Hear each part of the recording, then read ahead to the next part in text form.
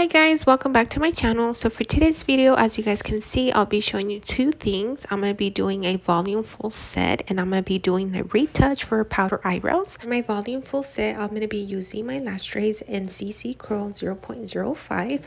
Um, I'm going to be linking everything down below that I used in this video, you guys. If you guys are interested in any of my lash products, go ahead and feel free to look around if you wish to purchase. Um, like I said, I'll be I'll be linking everything down below. So let's go ahead and get started. This is my client um, before. So um, yeah, you guys, I'm gonna have you guys watch um, this part and then I'll come back and explain to you guys um, the powder eyebrows. Enjoy.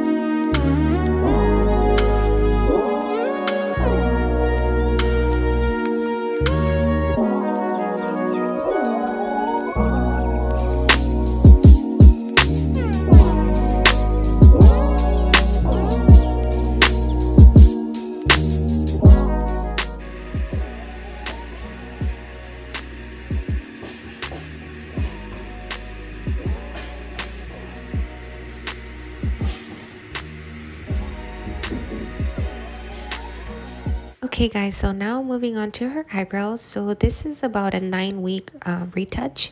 I first did her eyebrows, you guys, and my client actually was going for something very natural. Um, she did find that the very natural look was too natural for her. So this time we're going to go a little bit more bold. Um, she did state that um, she wanted to go more darker so we did do a lighter color in the beginning. So um, we're gonna go ahead and do that for her. So i'm gonna have you guys watch comment down below if you guys want to see a full tutorial from the beginning. I would love to do something for you guys. I just recently back in december this december in 2021 will be a year that i got certified uh, to do powder eyebrows. They're also known as ombre eyebrows. So the beauty of this you guys you could customize your client's eyebrows. So if your client comes to you and likes the light softer look you can definitely do that. And also like i said the beauty of this is that you can actually go bolder. I do have clients that like the bold um more darker uh, eyebrow. I can definitely do this. In this case with my client she decided she wanted to go a little darker and more bolder. So that's what i'm doing for her. I'll let you guys watch um again guys if you want me to do a full tutorial from start to finish with powder eyebrows let me know comment down below.